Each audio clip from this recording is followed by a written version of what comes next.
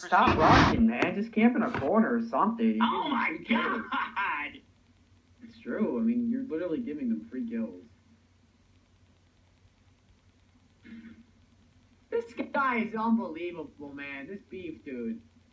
I'm getting out of this lobby after this because we need another Slayer, dude. You know, me and Adam's getting like 90% of the kills, and these other freaking scrubs and Eagle getting like t- two kills each. Oh, I'm kicking your ass. I'm kicking your. You want the beast? Okay, you got the beast. Yeah, six and eight, dude. Really? We have No, we got- didn't we- bad, man. No, you better Didn't check we that have- score again, fat boy. Hey, Didn't we have Beast earlier and he still did better than ours?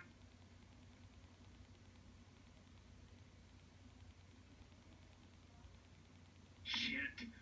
Ah. Oh my god! I just got knocked off the fucking wall.